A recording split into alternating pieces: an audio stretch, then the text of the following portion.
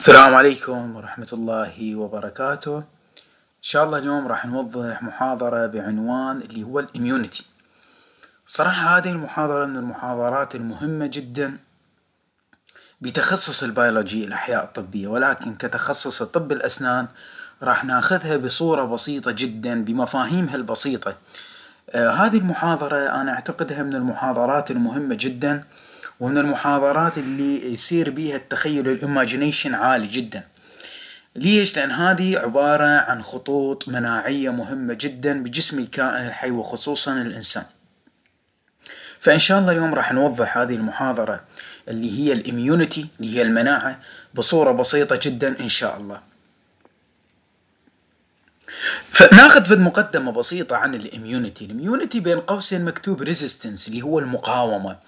الصراحة قبل لا نبدي بتعريفه المناعة الله سبحانه وتعالى من خلق الكائن الحي ومن خلق الإنسان أعطى لهذا الجسم فد ميزة جدا مهمة اللي هي المقاومة ضد الممرضات ضد الباثوجين اللي هو الممرض سواء كان بكتيريا فيروس وحتى أجسام غريبة ممكن تدخل جسم الكائن الحي.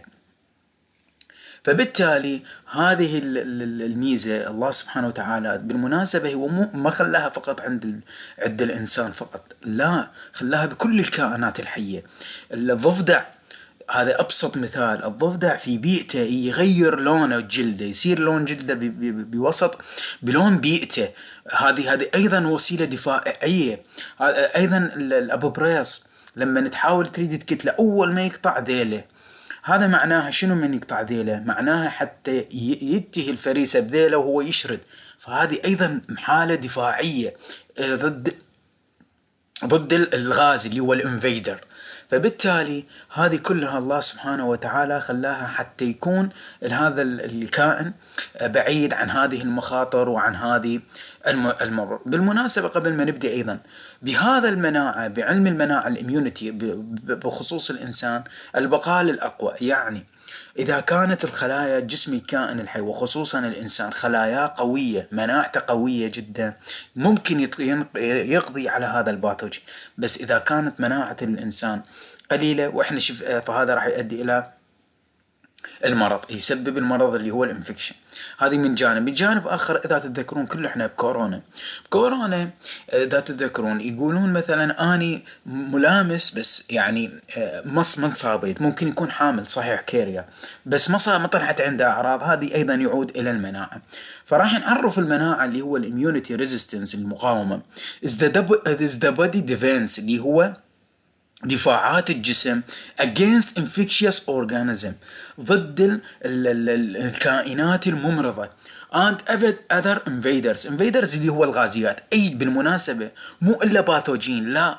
ممكن أي حبوب الطلع أو ريحة معينة أو غبار ال dust هذه أيضا تعتبر invaders. هذه لما يدخل الجسم راح يسوي series of steps الجسم راح يسوي مجموعة من الخطوات تسمى بال immune response اللي هو الاستجابة المناعية. بمجرد ما يدخل هذا الكا... الجسم البسيط أو الجسم الصغير إلى داخل جسم الكائن الحي وخصوصا الإنسان راح مباشرة راح يسبب سلسلة من الخطوات اللي هي تسمى بال immune response immune response معناها استجابة مناعية. يعني استجابة مناعية الجسم سليم. بس لما يشوف جزء غريب راح يأثر عليه فبالتالي راح يطلق كل خطوطه وبالتالي يستجيب لهذا الجسم الغريب حتى يقضي عليه ويرجع إلى فعالياته الحيوية الأصلية. The immune system is made up of أكيد بما أنه هو نظام system إذا مكون من عدة خلايا. special cells خلايا متخصصة. proteins بروتينات مهمة جدا. ال tissue أكيد الأنسجة. ال organs الأعضاء أيضا هسه راح بخلال هذه المحاضرة إن شاء الله نوضحها بالصورة البسيطة. زين كل هذه الجنود اللي هو ال special cells البروتين ال tissue وال organs هذه يستخدمها الجسم ضد من؟ ضد against invaders ضد الغازيات اللي هو ال pathogen. أي جسم غريب يدخل جسم الكائن لجسم الإنسان. زين أشبه ما يكون بالمعركة بالمناسبة. المعركة القائد يحتاج إلى جنود والجنود يحتاج إلى أسلحة. هاي الأسلحة حتى يدافع بها عن نفسه.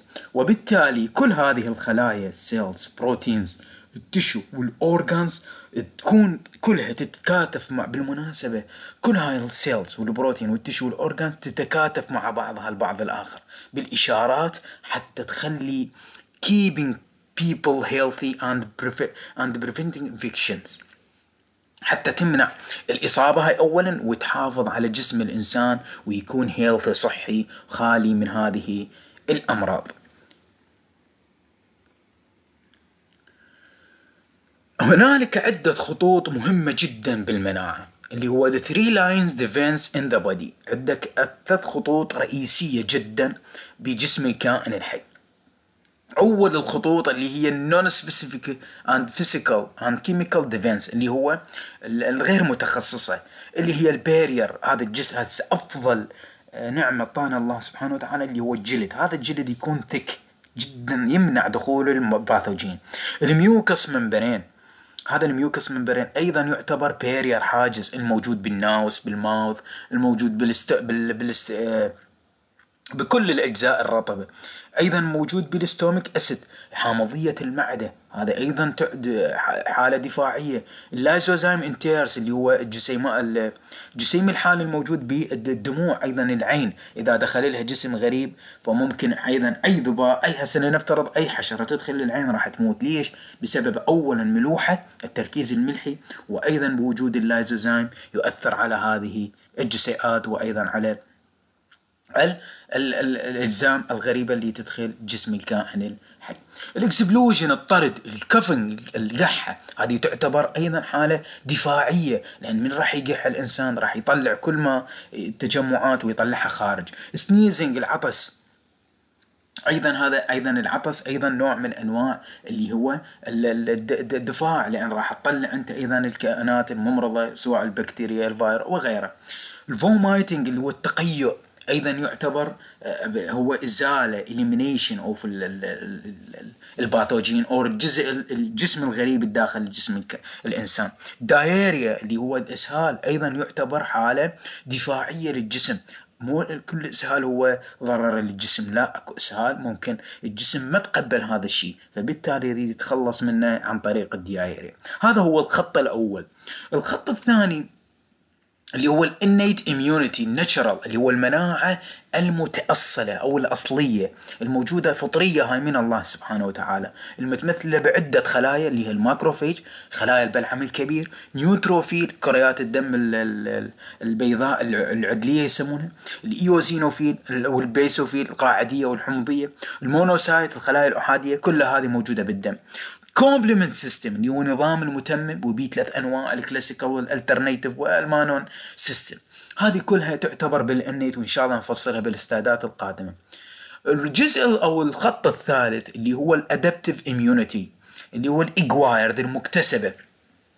وبيها نوعين أيضا اللي هو ال cellular الخلوية المناعة المكتسبة الخلوية ال cytotoxic المتمثلة بال B cell وال T cell وأيضا اللي هي ال T cell اللي هو ال cellular بينما ال humoral الخلطية متمثلة بال antibodies فهذه ثلاثة خطوط خاصة بالدفاع الجسم ضد ال pathogen أي particles بالمناسبة ما ذكرتها مو أي pathogen يسبب مرض لا. لأن قلت لكم البقاء للأقوى. ممكن ال pathogen يدخل وأنت ما تدري ويخضع عليه الكائنات الحية. وأعتقد أنتم سامعين بمعلومات يقول لك الجسم يوميا كم يكون خلايا سرطانية. ولكن قدرة الله سبحانه وتعالى وهبة الله سبحانه وتعالى اللي أعطاها لجسم الكائن الحي وخصوصا الإنسان يتخلص من هاي الخلايا السرطانية بعملية الأبوبتوسيس وغيرها من التفاصيل الأخرى. زين هسه راح نقسم المناعة. المناعة عرفناها راح نجي نقسمها إلى قسمين رئيسيين اللي هي الإمنيت إميونيتي اللي هي المناعة المتأصلة اللي هي تكون موجودة عند ولادة الإنسان. من هو طفل إلى أن يكبر ويموت. اللي هي المناعة المتأصلة اللي متمثلة بذكرناها بال macrophage بالخلايا والنظام المتمم النوع الثاني من المناعة اللي هو ال adaptive immunity اللي هو المناعة المكتسبة هاي يكتسبها الإنسان من خلال الإصابة بمرض واللقاحات أيضا ممكن والتعر ال memory cell اللي هي الخلايا الذاكرة اللي راح يكونها الجسم وإن شاء الله راح نوضحها بالسلايدات القادمه. ال adaptive immunity ممكن تقسم إلى نوعين قد تكون natural وقد تكون artificial وقد تكون طبيعية وقد تكون شنو؟ لا صناعية أو تجي من عن طريق صناعة الأدوية أو ما شابه ذلك. زين.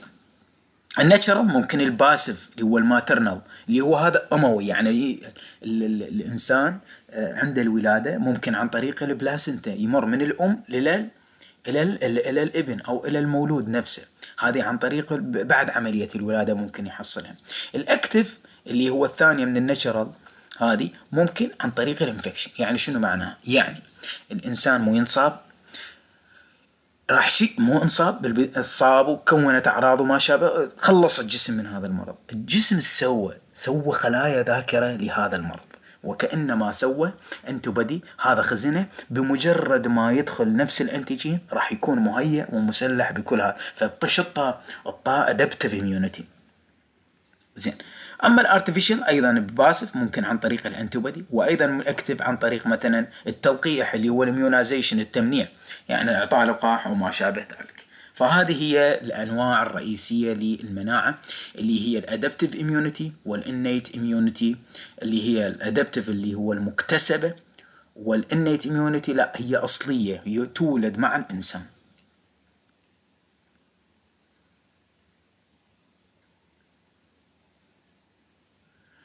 راح نجي هسه نفصل ونسوي مقارنة بين ال innate وال acquired or ال adaptive immunity اولا ال innate اللي هي متأصلة اللي تجي من خلايا الإنس تجي هي دائما مع الإنسان اللي هي ال innate أول نقطة بيها ال innate non specific يعني غير متخصصة ل pathogen. يعني بين قوسين ما تكون خلايا ذاكرة.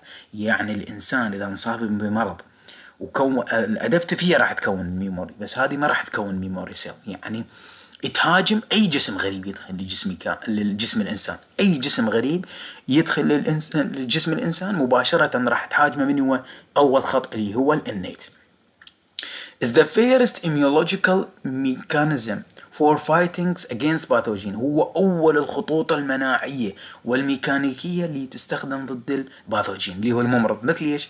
بكتيريا. فيروس any foreign substance أي جسم غريب يدخل لجسم كائن الإنسان.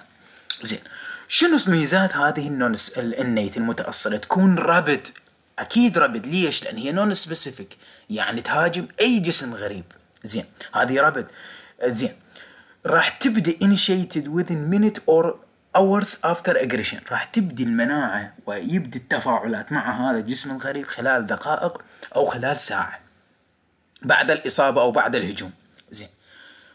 ميزة جدا مهمة. ليش قلت لكم non specific لأن has no immunological memory مو ينصاب الجسم ما راح هاي الخلايا تكون خلايا ذاكرة. لا يعني من يدخل مرة ثانية نفس ال pathogen ما تتعرف عليه كتعرف ثاني وإنما كتعرف أول. كل ما يدخل تتعرف عليه أول.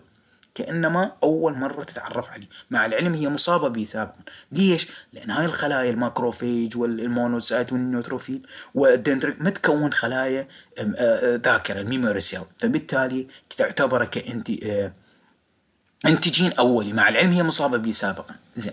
إيش تشمل هاي الانيت الفيزيكال بارير اللي هو الحواجز الفيزيائية؟ مثل مثال أبسط مثال اللي هو السكين الميوكس ممبرين الكيميكالز اند البيولوجيكال بارير اللي هي الكيميكال اللي هو الستومك أسيد وغيره اللايزوزايم بالتيرس اللي هو بالدموع. مثال عليها السكن بالانيت فلوشنج اوف اكشن اوف تيرز عن السلايفا أيضا يعتبر من نوع من أنواع الدفاع ال innate وال gas أكيد ال gastrointestinal tract وال respiratory tract اللي هو أيضا يعتبر من العوامل المهمة جدا بال innate immunity اذا ملخص ال innate اللي هو المتأصل اولا non specific غير متخصصة ب pathogen معين لا تهاجم كل ال pathogen. هاي واحد. first immunological mechanism أول الخطوط المناعية. استجابتها للمرض تكون rapid immune response سريعة جدا. ثلاثة تبدي التفاعل والتعرف على هذا ال pathogen خلال دقائق أو اورس بعد التفاعل. هاي ثلاثة. أربعة ميزة جدا. Has no immunological memory. ما تمتلك خلايا ذاكرة. ومثال عليها اللي هي ال physical وال chemical وال biological barrier اللي هي المتمثلة بهذه الحواجز. زين. هذا الجزء الأول. الجزء الثاني النوع الثاني اللي هو ال adaptive immunity or specific immunity ال adaptive immunity اللي هو المناعة المكتسبة اللي هي ما تولد مع الإنسان يكتسبها من خلال العيش والحياة. أو أول ميزة لها specific immunity يعني ما تهاجم أي أي أي ممرض. لا. متخصصة ب pathogen معين. ليش؟ لأن مصاب الجسم بهذا ال pathogen نفسه سابقا. هسه راح نعرف ليش. هذه أولا. ثانيا second line بينما ذاك كان لأنه كان first line هذا الخط الثاني. زين. هذا is antigen dependent or antigen specific تعتمد على ال antigen. إذا ال antigen مصابة به سابقا راح تتفعل بصورة فعالة جدا. وإذا ما متفعلة لا راح تستجيب له وتكون خلايا ذاكرة. جدا صفة جدا مهمة اللي هو formations of memory cell. تكون خلايا ذاكرة لهذا ال pathogen. يعني مو هسه أنا جسم الكائن الحي انصاب ب pathogen هاي الخلايا ال adaptive راح تكون كأنما تاخذ له صورة تحفظه إذا دخل هذا ال pathogen مرة ثانية مباشرة الأول ما يشتغل هذا راح يشتغل. اللي هو ال adaptive مباشرة راح تكون مثلا antibody أو T cell وتهاجم هذا ال antigen وتقضي عليه. زين. تكون بالمناسبة هذه أقل تفاعل من ال أو كناحية الربط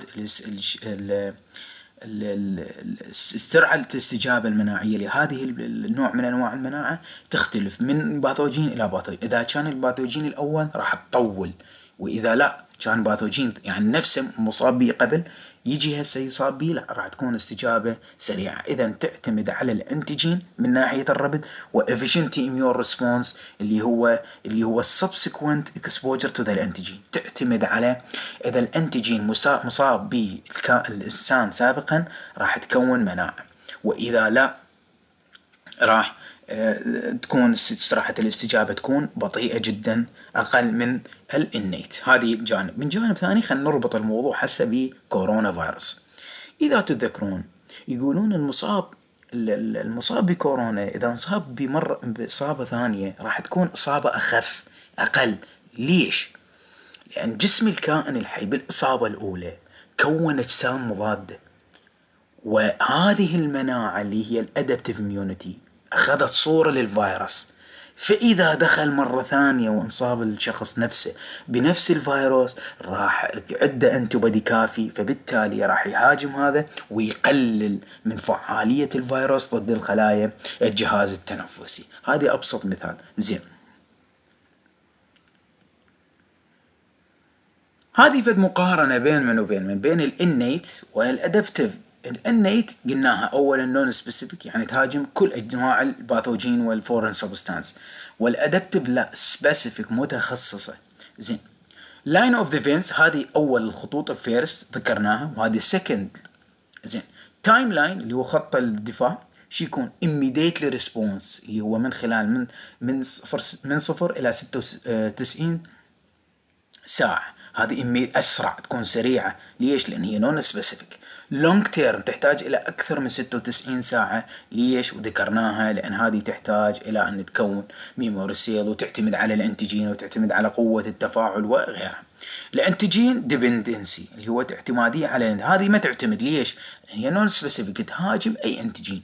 بينما ال adaptive لا dependent معتمدة على ال antigen. ليش؟ راح نرجع ونقول على ال memory cell. إذا ال antigen dependency يعتمد على ال memory cell اللي هو الخلايا الذاكرة. هذه ما تكون خلايا ذاكرة انصابت بينما هذه الخلايا لا. إذا تعرضت لل antigen راح تكون تأخذ له صورة ويعتمد على ال antigen. زين. الخلايا اللي تشتغل بال innate اللي هو ال natural killer cell خلايا القاتلة الطبيعية ال macrophage البلعمي الكبير neutrophil العدلة وال dendritic cell الخلايا الشجيرية ال mast cell اللي هو الخلايا الدهنية اللي والنوع وال basophil وال eosinophil الحامضية والقاعدية بال white blood cell الخلايا اللي تشتغل بال adaptive نوعين اللي هو ال T cell وال B cell ال lymphocyte هذه هي أبسط مقارنة بين من comparison between adaptive and innate immunity.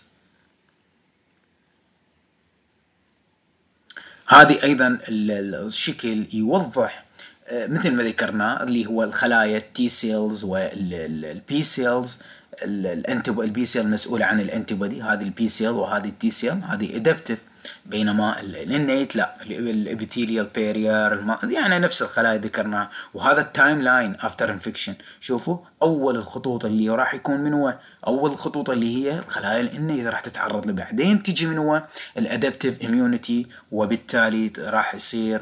هذه ما تكون خلايا ذاكرة هذه لا. لما تتعرض ل antigen راح تكون خلايا ذاكرة. هذه أيضا صورة يوضح الخلايا المستخدمة بال innate immunity وال adaptive immunity.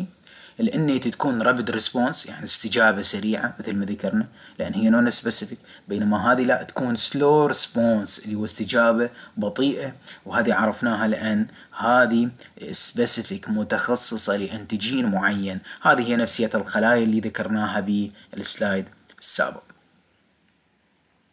زين. أهم العمليات اللي مهمة جدا اللي هي الموجودة بال innate ال physical and ال chemical barrier اللي هو الحواجز الموجودة بجسم الكائن. الحي وذكرناها أنا أنا أذكر اللي هو ال skin أبسط ال physical اللي هو ال skin ال mucosal membrane. ال chemical اللي هو الإنزيمات الموجودة بالسوائل ال mucosal membrane بال mucosal membrane. أيضا بال stomach حامضية المعدة. هذا أيضا تعتبر حامضية المعدة وقاعدية الأمعاء. زين phagocytic cell الخلايا الملتهمة neutrophil macrophage ال neutrophil عدلة ال macrophage خلايا البلعمية الكبيرة الخلايا القاتلة الطبيعية الخلايا الدهنية ال mast cell أو البدينة يسمونها والخلايا الشجيرية ال dendritic cells. أيضا بال blood protein اللي هو المشمول بعمل ال complement system وال inflammation mediators اللي هو بعمليات التوسيطات الخاصة بالعمليات الالتهابية ال interleukinات وغيرها من التفاصيل الأخرى. إذا ال innate immunity متمثلة من ال skin وأيضا بعض الإنزيمات الموجودة بالسوائل الجسم. خصوصا ال nose أيضا بال tears اللي هو الدمع العين بال eyes وأيضا ال phagocytic cell وال blood protein البروتينات الموجودة بالدم. هذه اللي هي ال physical and ال chemical factors. اللي هي ال physical and ال chemical factors لل innate وليس ال acquired.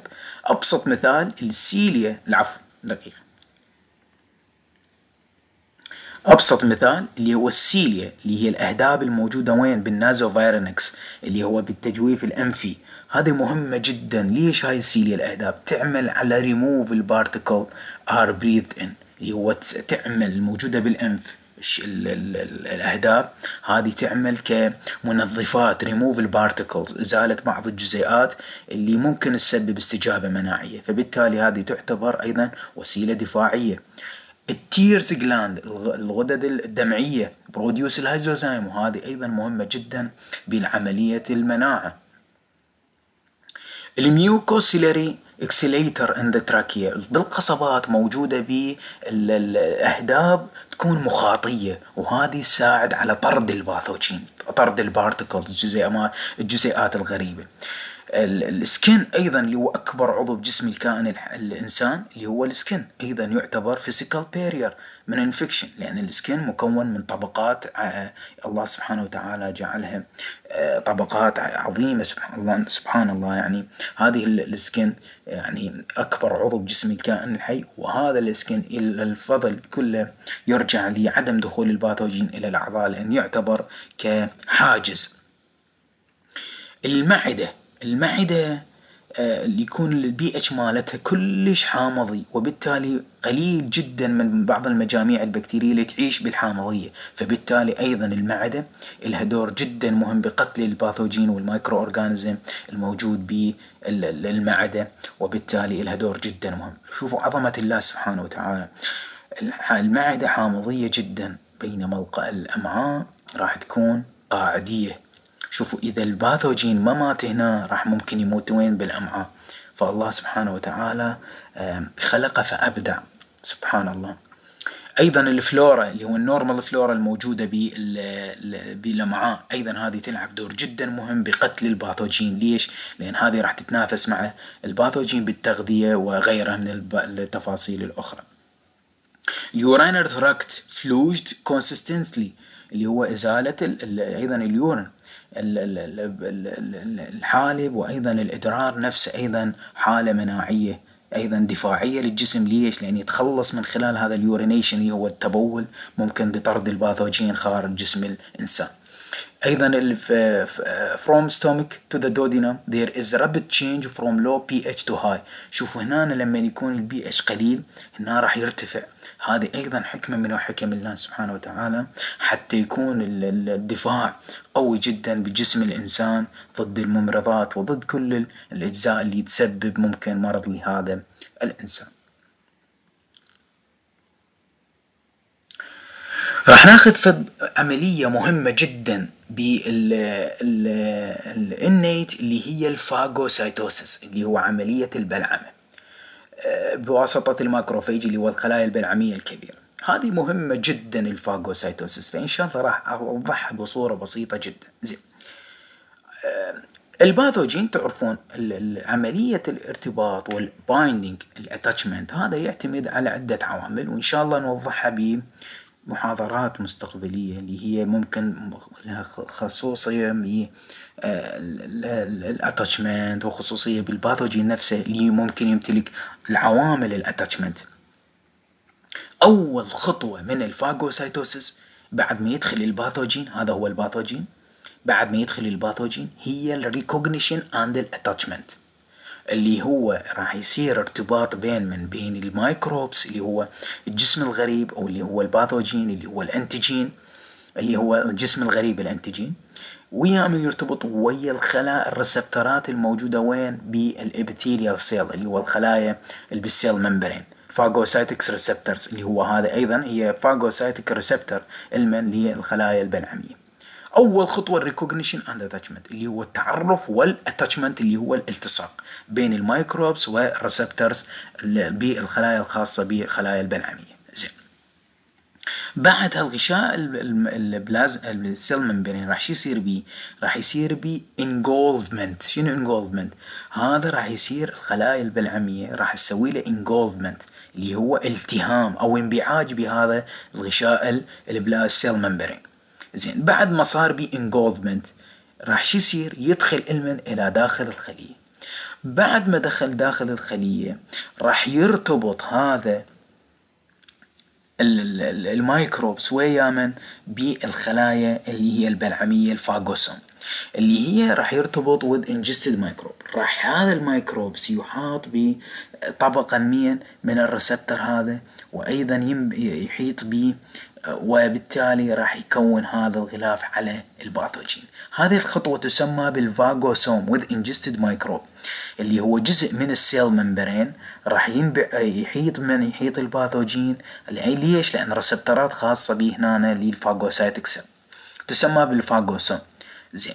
بعدها هذا الفا... ال phagosome اللي هو الجزء من ال cell membrane مع ال pathogen راح يكون راح يرتبط ويا من ويلا يفرز هذه الخلايا راح تفرز الخلايا البلعمية راح تفرز اللايزوزوم اللي هو الجسيمات الحالة.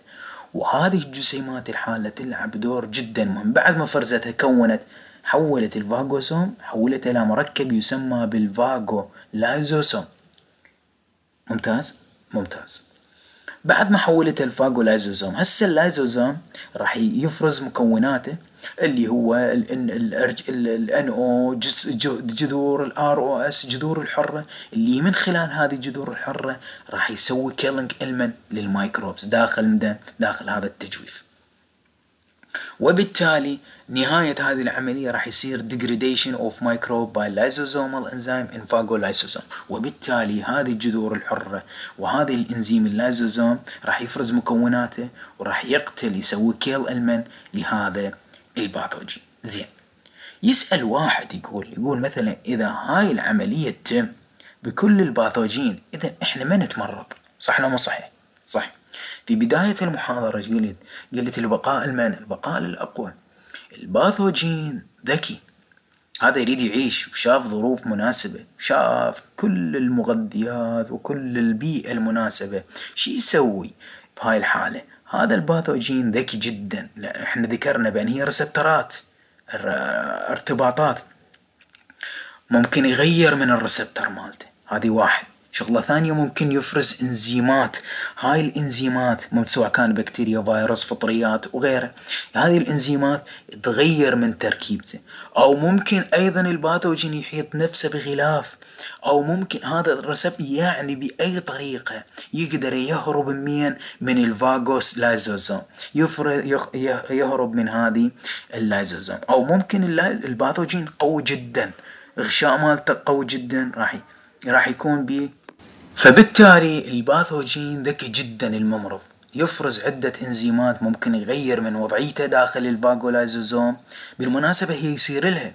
بس شنو؟ هذا الفا الفا قلت لكم البقاء للأقوى ال pathogen أيضا ذكي. فيفرز بعض الإنزيمات اللي تغير من ال receptor مالته وبالتالي راح يهرب من ال phagolysosome فبالتالي راح ممكن هذه العملية ما تتم ما تسوي ما تروح إلى الهدف نفسه اللي هو ال degradation of microbe راح ما تحطم ال microbes ممكن تحطم جزء من يمه ويهرب الباقي. فبالتالي هذه هي عملية ال phagocytosis. Recognition and attachment تعرف والتصاق engulfment كأنما يكون بلع أو ابتلاع لهذا الشيء أو انبعاج وبالتالي وراح يحوله إلى ال phagosome. ومن ال phagosome راح يفرز اللايزوزوم؟ راح يحوله لل phagolysosome ال lysosome راح يفرز الإنزيمات والجذور الحرة اللي تقتل ال pathogen وبالتالي تؤدي إلى degradation of microbes by enzyme.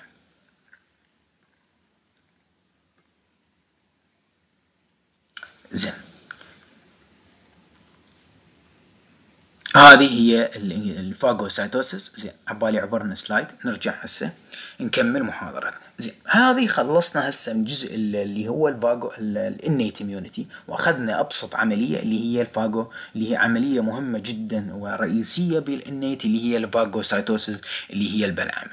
نجي إلى النوع الثاني من المناعة اللي هو ال adaptive immunity وقلنا بيها نوعين humoral immunity وال cellular immunity ال humoral immunity اللي هي المتمثلة بمن بال blood mucosal secretion اللي هي متمثلة بالافرازات الموجودة بالمخاطية الموجودة بالدم وأيضا بالمخاط أيضا.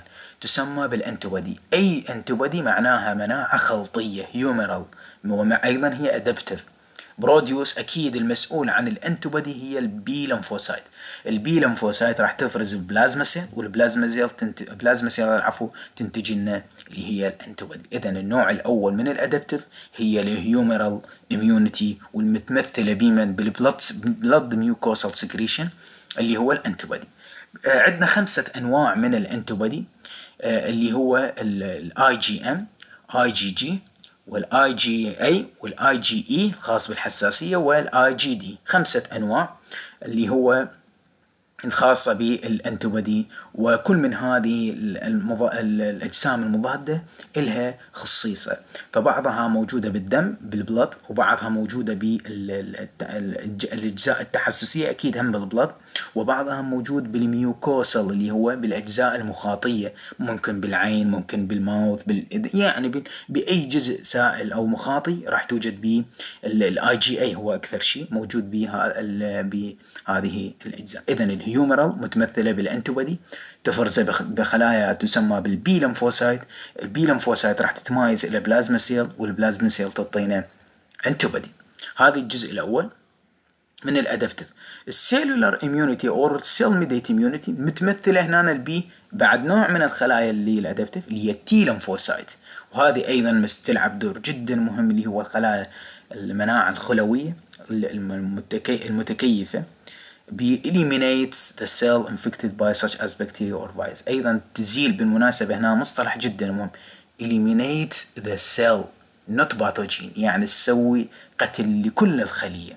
المصابة بالبكتيريا والفيروس. هذه من هي؟ اللي هي ال T lymphocyte إذا ال adaptive هي B وال T lymphocyte ال B مسؤولة عن ال humoral اللي تنتج ال antibody ال antibody ال sample خمسة أنواع. اي جي ام اي جي جي اي جي اي واي جي اي واي جي دي والسيلولر لا المتمثلة بال T lymphocyte اللي تزيل ال eliminated infected cell الخلايا المتضررة بواسطة البكتيريا أو الفيروس. هذه هي ال B lymphocyte ال B lymphocyte اللي هي اللي هي الخلية الوحيدة اللي تنتج ال antibody اللي هي من هي؟ اللي هي الخلايا ال B lymphocyte ذكرنا ال B lymphocyte تتمايز إلى plasma cell وال plasma cell تتمايز إلى ال antibody وذكرنا ال antibody خمسة أنواع. آي جي إم آي جي جي آي جي دي واي جي إي واي جي دي. البي لمفوسايت أيضا تكون ال memory cell وهذه نقطة جدا مهمة. اذا ما دام memory cell إحنا بال adaptive or ال acquired or specific then كلها نفس التسمية. اللي هي موجودة تكون long life اللي هو أكثر عمرا. ليش؟ لأن هذا راح تكون ذاكرة. Secondary antigen exposure occur to create a secondary immune response إذا هذه اللي قلت لكم إياها إذا الجسم انصاب وشفى وإذا نفس ال pathogen نفس النوع رجع انصاب مرة ثانية راح هذه الخلايا مباشرة عندها مجموعة من ال antibody لونج لايف تعيش أطول فبالتالي راح تهاجمه بصورة أسرع وتقضي عليه. وإذا ما قضت عليه فتكون الأعراض قليلة جدا. وهذه ما ذكرناها بكورونا فيروس ببداية المحاضرة. اللي هو إنسان بالإصابة الثانية لا راح يكون يكون أعراضه أقل. أيضا بالمناسبة حتى نربطها بربط علمي باللقاحات أيضا. يقول بالمناسبة اللي أخذ اللقاح انصاب بس يقول انصابيت بأعراض أقل وهذه معناها معناها عنده antibody بس مو ال antibody العالي. فبالتالي عنده صورة كاملة memory cell لهذا ال pathogen فبالتالي قلل من الأعراض وما قضى عليه تماما. هذا هو ال immunoglobulin اللي هو ال antibody antibody اللي تسمية ثانية اللي هو ال immunoglobulin اللي هو عبارة عن protein soluble protein glycoprotein عبارة عن بروتين سكري ذائب بكل المجاميع الموجود بالدم بال serum بال tissue fluid السوائل النسيجية وأيضا بال cell membrane موجود به.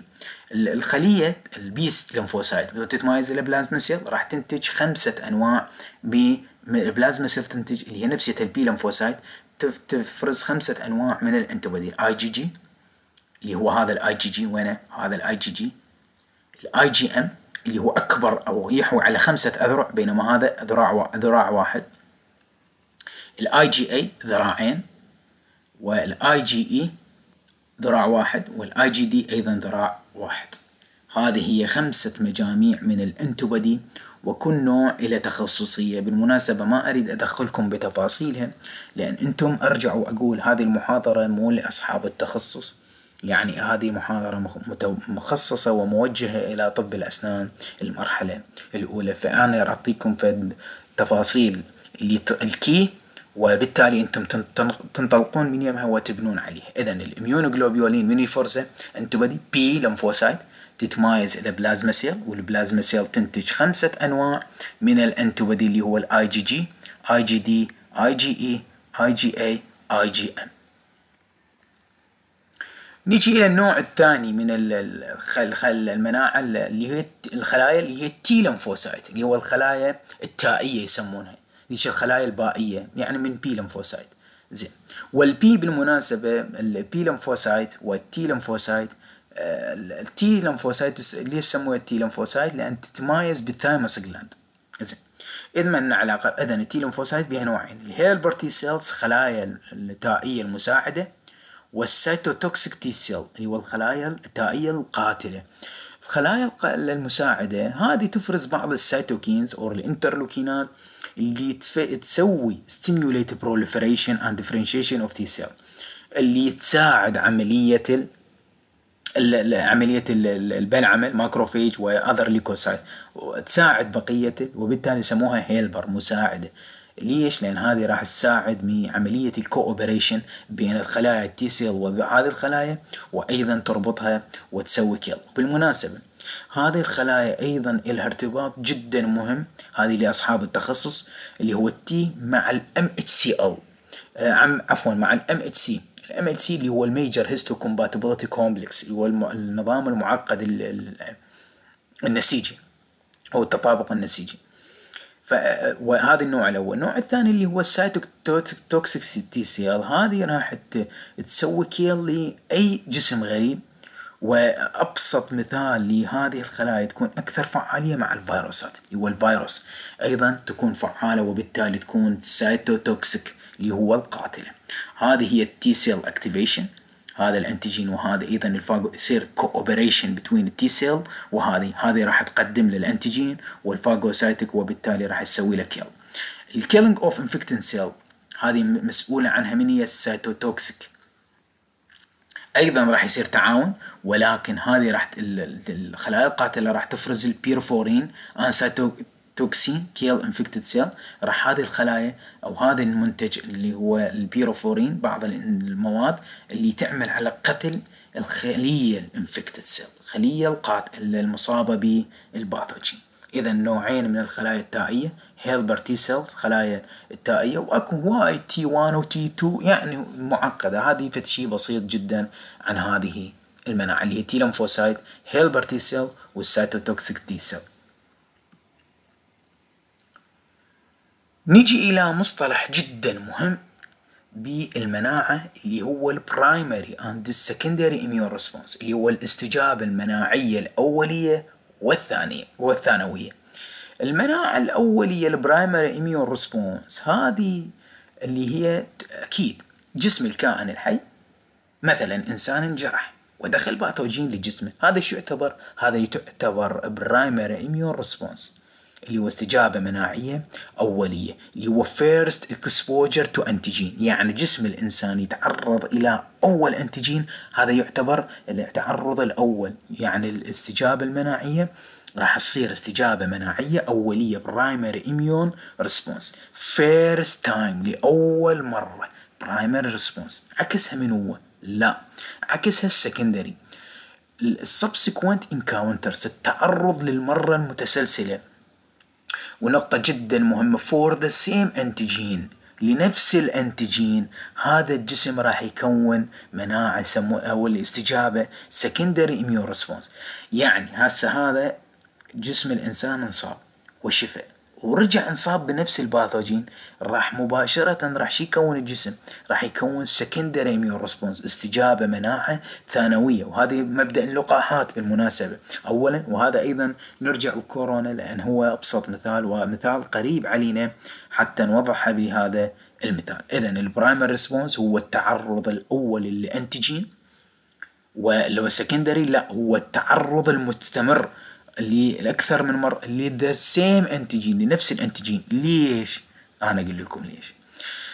لأن هاي الخلايا راح تتعرض للتعرض الأولي لأن وراها من ال acquired ال acquired أو ال adaptive راح تكون memory cell خلايا ذاكرة.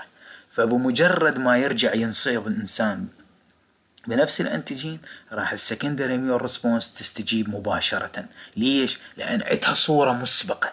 يعني عندها ذاكرة عن هذا المرض. فبالتالي راح تكون الاستجابة لل secondary أسرع أقوى أكبر وأيضا شنو better able to eliminate antigen than primary response. يقول لك أكثر من الاستجابة الأولية وأفضل وأكفأ وأسرع وأكبر. ليش؟ لأن الخلايا النشطة للبي سيل والتي سيل فالبي سيل متسلحة بالأنتيبودي والتي سيل متسلحة بأنواعها الأخرى.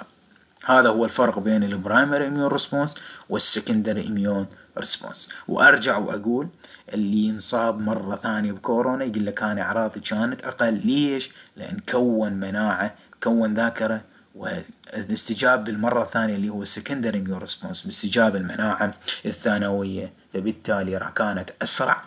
وأرجع وقلت إذا ما قتل الفيروس لا سواله سواله فد suppression أو سواله فد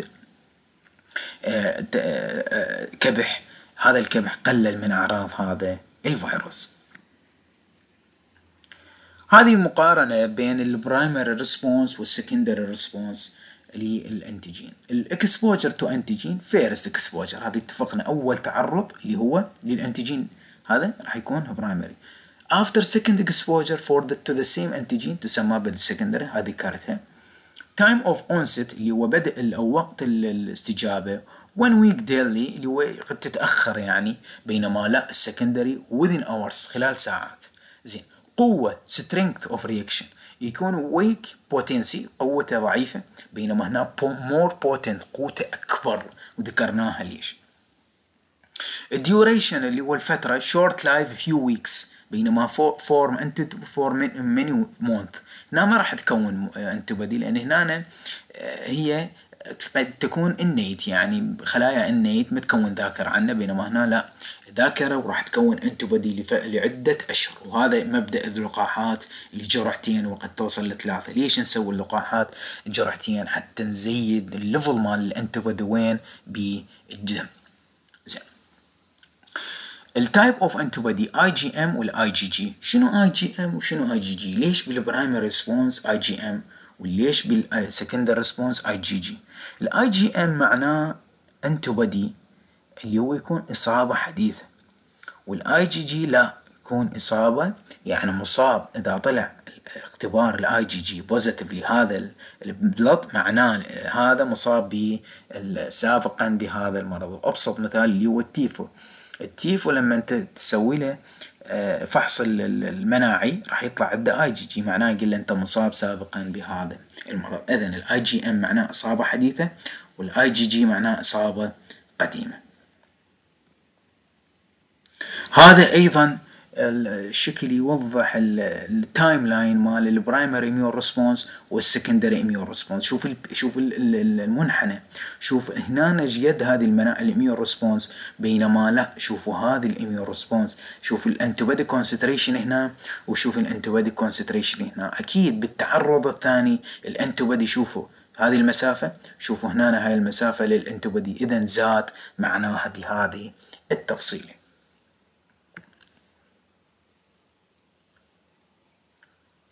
أتمنى لكم الاستفادة من هذه المحاضرة البسيطة. مع الشكر الجزيل لكم والسلام عليكم ورحمة الله وبركاته.